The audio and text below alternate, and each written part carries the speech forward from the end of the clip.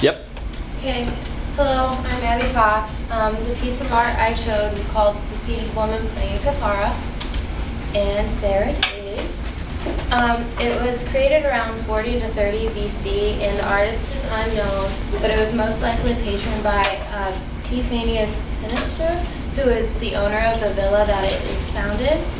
And it is a fresco, meaning that it um, was painted onto wet plaster. Um, the subject is pretty self-explanatory because of the title. It's a woman sitting down playing a kithara. And the woman is most likely royalty because she has gold jewelry on, like her gold headband and a gold bracelet and a necklace. And she knows how to play an instrument. And she is well dressed. And the girl behind her is possibly either her daughter or her sister. We're not sure.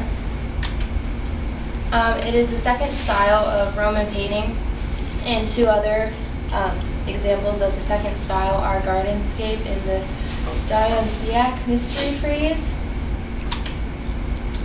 So what makes this um, part of the second style is that it causes a like three-dimensional illusion, and they use real-life subjects, whereas the first um, style was mostly like an imitation of marble onto walls.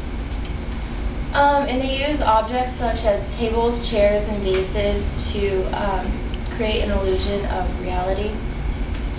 And they also create a scene without using windows. For example, Gardenscape in the last um, slide has a picture of birds and an outside scene since they didn't have windows.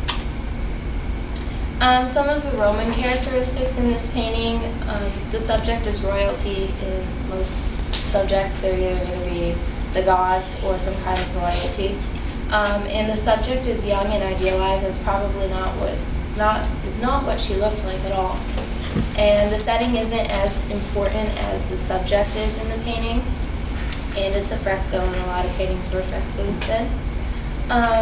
And the scale plays a big part in it because, I mean, the woman is a lot bigger than the girl behind her.